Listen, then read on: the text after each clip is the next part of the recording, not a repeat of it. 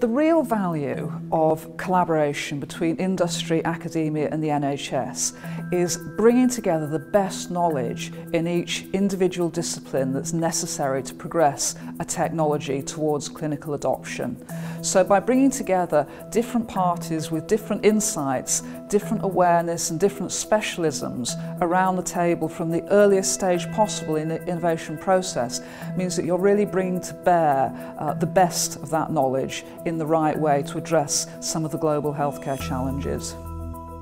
Having worked for the best part of 25 years at the academic industrial interface, I've got lots of positive examples mm. of the value of engagement between academia and industry and the secret is early academic industrial engagement. And what you're trying to avoid is the possibility that an academic with an idea might be doing something that industry might have developed 10 years ago that there might be a different way of doing it, or the holy grail that we're all after is for that early academic industrial engagement to result in a partnership that leads to a way forward that couldn't have happened without that interaction. I strongly believe that one common ground is first of all building a collaboration based on the fact that you acknowledge differences. So from the beginning, you really need to realize that the way we do innovation and the way our performance is measured is different.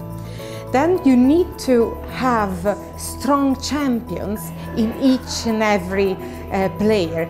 These are the people that can really foster a strong relationship that usually is what brings a project really long term uh, to a successful standout. The largest barriers to knowledge exchange and translation of research are really those of understanding. You know, not everybody has been engaged with that kind of activity. And often the things you have to do to be successful in that are very, very different to what you've been doing in your previous research environment. For me, much more important are cultural differences. So we still have, at the interface between industry and academia, uh, an approach where industry often comes in a transactional manner, where we're looking for, we're talking about assets or we're talking about a preclinical model. And uh, academia sees us as a source of funding there's a, there's a transactional nature of an engagement. Um, that really does not give justice to the different needs and the different motivations and desires that researchers have, the needs that a commercial company has. So uh, cultural differences for me are often seen as sort of uh, soft issues, but I think they are real barriers to joint understanding. So as a result, you have different expectations, lack of understanding, and actually that can get in the way. It doesn't always get in the way, but it does mean that we have to do, to get over that, a lot of education and in, in a sense of helping people understand why things are done because we're working with very clever people who are definitely keen to see their, their work translated.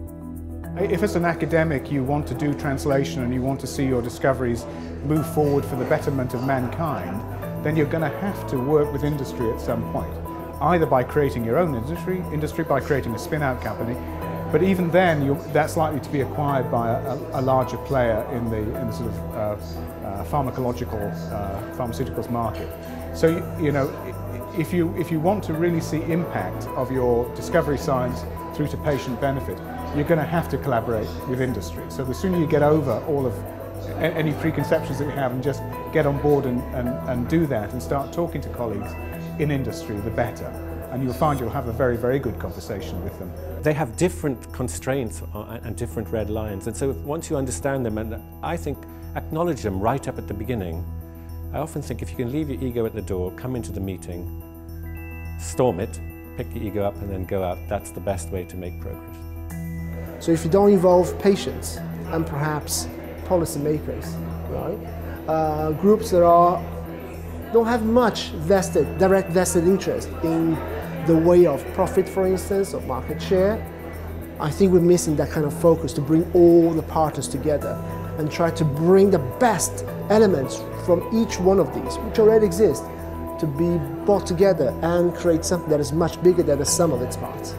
The UK Spine consortium, as it, as it is at the moment, it's, it's, it's five partners, I, I call it a coalition of the willing, people who are prepared to come and put on the table the assets they've got, which ena will enable us to go from innovative discoveries through to clinical proof of concept. but it's not an exclusive club, and it, and, and it needs to be uh, work with whatever partners are necessary to get the, the job done.